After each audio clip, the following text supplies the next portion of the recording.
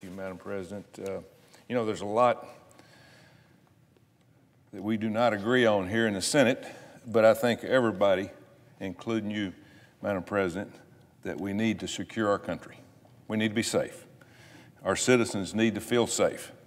Our job as elected officials is to make sure that those who have stepped up to defend our country have the resources they need to do their job and do it safely. The President's recent budget proposal for the Defense Department does not, and I repeat, does not give our men and women in uniform the tools to do their job properly. It's clear that President Biden thinks we don't need further investment in our military. If he, it's clear he thinks it's okay to ask our men and women to do more with less, and that's impossible. This should alarm the members of this body and all American people. The world has changed a lot in 50 years. When President Biden first came to Washington in 1972, there were two superpowers the United States and the Soviet Union. Back then, we spent 6.5% of our federal budget on national defense. 6.5. Today, we spend less than 3.5. In 2021, we're facing different but very, very serious threats. Secretary Austin has said that China remains the top, quote, pacing threat for our military. It's much, much more than that. China isn't just trying to dominate Asia as its, as, and its neighbors, they're trying to dominate much of the world through the growing military and economic influence. Simply keeping pace with China is not enough. We've got to outpace all of our adversaries. But doing that requires smart, substantial, and strategic investments in our military. Much more investment than the President and many people here in Congress publicly propose. Let me walk through some of the ways a supposedly flat defense budget hurts our national security. President Biden says he wants his administration to trust the experts on things like COVID, but this defense budget shows he doesn't apply the same principle to the Pentagon. Unlike the president and some of my Democrat colleagues, I think we should take seriously the advice of our commanding generals, for they are the experts in this purview. Here's what Admiral Charles Richard, commander of U.S. Strategic Command, who is over our nu nuclear capabilities, said in last week's hearing to the Senate Armed Services Committee. Quote, I have what I need to deter today, but I need to modernize. There's no remaining margin of error. His warning is clear.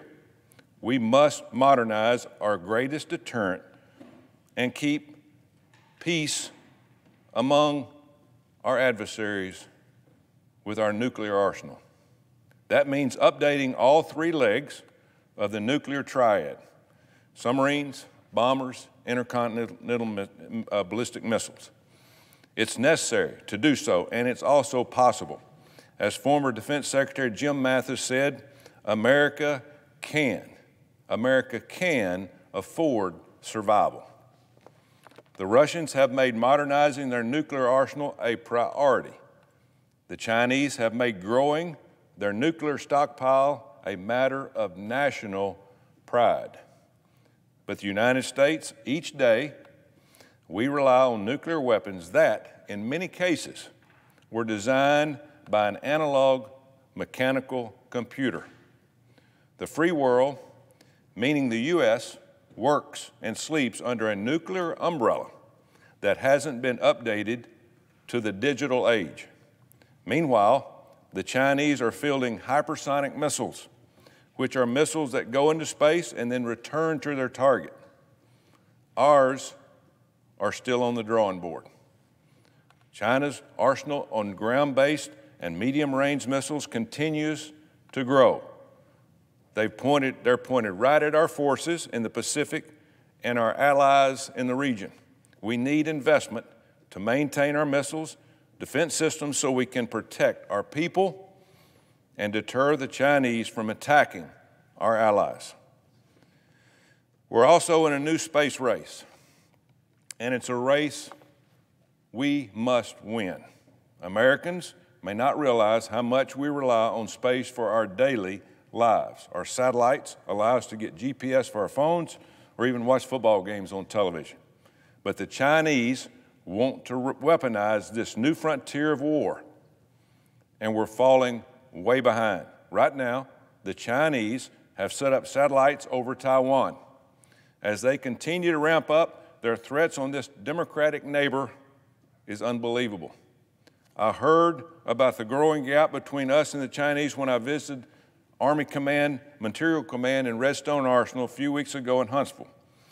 These folks shared with me how desperately we need to modernize our space based systems that contribute to our missile defense. The U.S. Army is the largest consumer of space products, and our military relies on the Materiel Command to provide the resources to train our soldiers for research, development of new equipment, and defend our nation. They should not have to beg the President of the United States for the money to invest in the capabilities that we need. The United States must ensure secure and reliable access to space. Our budget needs to demonstrate commitment to defending our existing space assets and developing new technology so we can win this next theater of conflict. We also need to invest in the safety of our servicemen and women, especially in aviation. Currently, the average age of an airplane in our military is older than the pilots flying them. Older. According to a recent report by the National Commission on Military Safety Aviation, the military had more than 6,000 non combat aviation accidents since 2013 destroying 157 aircraft at a cost of $9.41 billion. Even worse was the human cost. 198 souls have been lost in these tragic accidents, affecting hundreds more spouses, children, family, and friends. When asked why these causes occur, service members pointed to inadequate training programs, risky maintenance for practices, and spotty funding, among other reasons. Alabama is the home to Fort Rucker, where every Army helicopter pilot comes to get their training. When I visited the folks at Fort Rucker, they told me about the very real need for increased flight training hours for our pilots, which requires more investment and prioritization in the defense budget. Just last week, two pilots were injured in a helicopter crash at Fort Rucker during flight training. I'm sure General Francis and the U.S. Army Safety Center will do a thorough investigation and provide feedback on the improvements needed to ensure that this does not happen again. The safety of our flight program must be a top priority. We must listen to our men and women in uniform and invest in the proper training and safety measures that will prevent these crashes. Alabama stands ready to continue to build our military so we can maintain our status as a preeminent fighting force in the world. We've got hundreds of contractors and more than 200,000 employed in the defense sector across the state of Alabama. These top notch men and women support our military installations from shipbuilders in Mobile to Redstone Arsenal in Huntsville and many places in between. As Winston Churchill said, give us the tools and we will finish the job. We're willing and able, but those tools required sustained funding from the federal government. Telling our forces to fight a war with outdated tools is like giving a football team some leather helmets and decades old, poor, poorly fitted pads and expecting them to compete against modern equipment. But that's exactly what President Biden's defense budget is asking our military to do. Frankly, it's a huge disappointment coming from our commander in chief. We cannot let our men and women down. Thankfully, it's Congress, not the president, who has the power of the purse. And really, this should be our first order of business every year. It's that important.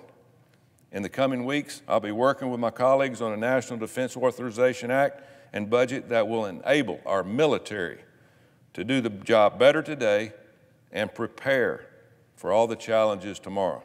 This debate is ultimately about whether or not we have the willpower to fight, to defend our way of life and our great country. Well, I'm willing to keep fighting for the United States by investing, investing in the men and women who keep us safe. I urge my colleagues and President Biden to do the same.